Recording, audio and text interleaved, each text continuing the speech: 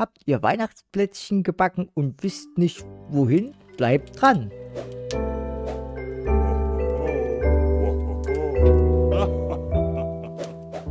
Heute brauchen wir die Verpackung einer Backpapier- oder Frischhaltefolie drinnen ist. Nun holen wir den Inhalt raus, dekorieren den Karton nach Belieben. N nur, nur noch äh, alle Enden und Kanten schließen und jetzt können wir unsere runden Plätzchen oder Sterne reinlegen und fertig. Deckel zu, Schleife rum und wir können die Kekse verschenken.